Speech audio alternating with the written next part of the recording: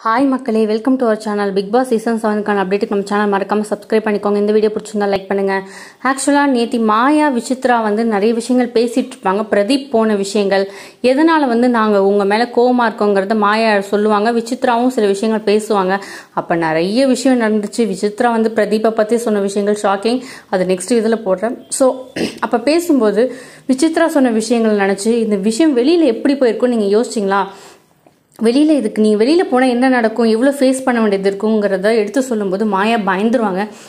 Already மாயா பூர்ணிமாலாம் பிரதீப்பை வெளியில் அனுப்பிச்ச விஷயத்துக்காக பயந்துட்டு தான் இருக்காங்க உள்ளுக்குள்ளே. நம்ம தப்பு பண்ணிட்டோமோ? பெரிய வெள் வெளில போய் பெரிய ப்ராப்ளம் ஃபேஸ் பண்ணணுமோங்கிற மாதிரி. ஸோ அதை விசித்திரம் மேம் தூண்டி விட்டோன்னு இப்போ ரொம்ப பயம் அதிகமாயிடுச்சு. மாயானா லிட்ரலி வந்து வெளியில் போனால் என்ன நடக்கும்னு தெரியல. சத்தியமாக தெரியல. எனக்கு பயமாக இருக்குது எப்படி வேணாலும் வெளியில் போயிருக்கலாம் ப்ரொஜெக்ட் ஆயிருக்கலாம். நம்ம நம்ம மேலே முழு தப்பாக இருக்கலாம் அப்படிங்கிற ரொம்ப பயப்படுறாங்க. ஸோ நீங்கள் என்ன நினைக்கிறீங்க மக்களே?